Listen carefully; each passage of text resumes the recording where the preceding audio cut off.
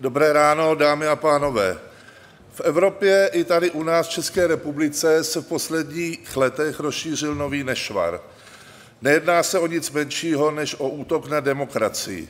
Mám konkrétně na mysli to, jakým eh, způsobem eh, se v posledních pěti letech eh, přijal v Evropské unii dalekosáhlý plán, který je znám jako Green Deal.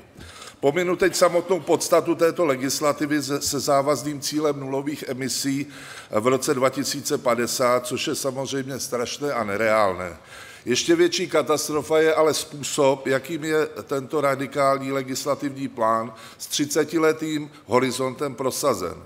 Demokracie spočívá v tom, že si lidé volí parlament a ten přijímá zákony. O tom, jaké zákony se budou prosazovat, rozhoduje soutěž myšlenek zobrazených ve volebních programech. Aspoň tak by to teoreticky mělo být. V praxi EU se to tak ale vůbec neděje. Před volbami do Evropského parlamentu před pěti lety žádná evropská politická strana, snad s výjimkou zastřeného programu strany zelených, eh, žádný program Green Dealu nenabízela.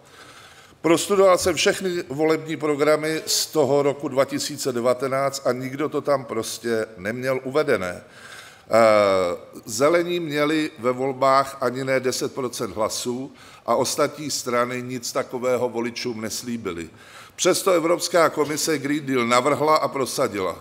Za Českou republiku základní schéma Green Deal schválila vláda Andreje Babiše, která k tomu rovněž neměla žádný mandát z voleb, protože v parlamentních volbách uh, nikdo, žádná strana Green Deal neměla v programu.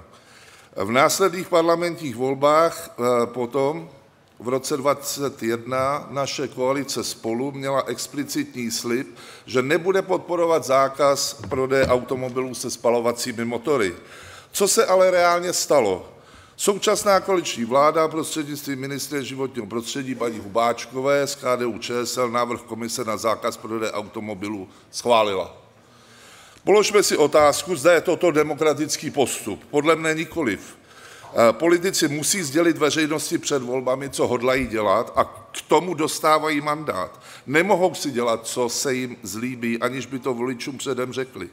Samozřejmě také platí to, že politici nemají porušovat předvolební sliby, slibovat, že nezakážu auta a potom je zakázat, je prostě a jednoduše podvod. Úplně stejný případ nastává, když slíbíme, že nebudeme zvyšovat daně a potom je zvýšíme. Kdyby zde s námi byl Jaroslav Kubera, tak by vám to řekl mnohem eh, výstižněji a důrazněji než já. Letos máme my, voliči, první reálnou možnost se k radikálnímu plánu Green Dealu vyjádřit u voleb a doufám, že to uděláme. Kladu si otázku, jak, když v rámci koalice spolu máme na kandidáce vedle sebe politiky se zcela rozdílnými názory na toto zásadní téma, které nás bude ovlivňovat dalších 30 let. ODS byla založena jako strana, která prosazovala malý stát, nízké daně a malé přerozdělování. Realita naší republiky je přesně opačná. Sociální demokracie sice zmizela z parlamentu, ale svůj program bohužel prosadila. V Česku máme dnes velký stát, vysoké daně a vysoké přerozdělování, které se ovšem s Green Dealem bohužel ještě zvětší. Proti tomu bychom se měli postavit a nikoli se s tím smířit. Už i malé děti vidí, že Evropa zaostává a firmy se přesouvají eh, mimo Evropskou unii, včetně čes, řady českých firm. Co je důvodem? Drahá elektřina, proč drahá? Protože máme nesmyslný systém emisních povolenek, jak o tom tady hovořil kolega Kerner, eh, systém, se kterým si mohou spekulanti na celém světě dělat, co se jim zlíbí.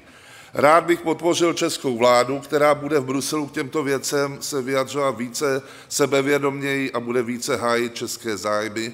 Bohužel často vidím vládu, která kývá téměř na cokoliv a ještě se velká část ministrů, především z koaličních stran, chce zbavovat práva veta, což je cesta, kterou rozhodně nemůžeme jít. Na závěr mi dovolte, abych ještě měl pár dotazů eh, na vládu. Kdy začne privatizace podílů v České poště, Budvaru, Čepru, Českých dráh a dalších státních firmách? Velmi jsem uvítal, když o tom včera Zbyněk Stanjura se zmínil ve svém projevu. Myslím si, že toto by byl skvělý program. Mimochodem, německá, rakouská, nizozemská pošta jsou již 100% zprivatizované a jsou na burzách. Kdy vláda ukončí nesmyslnou windfall tax, která disproporčně dopadá na menšinové akcionáře, jak tady o tom hovořil kolega Šalamon.